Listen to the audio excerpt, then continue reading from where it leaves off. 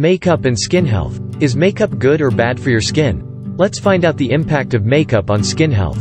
Some makeup products can irritate the skin, clog pores, or even cause acne. But don't worry, there are gentle makeup products available. Look for those with natural ingredients and no harsh chemicals. If you have sensitive skin, opt for makeup labeled as hypoallergenic or dermatologist tested. Removing makeup properly is crucial. Use a gentle cleanser and makeup remover to prevent clogged pores and acne. For personalized advice, consult a dermatologist.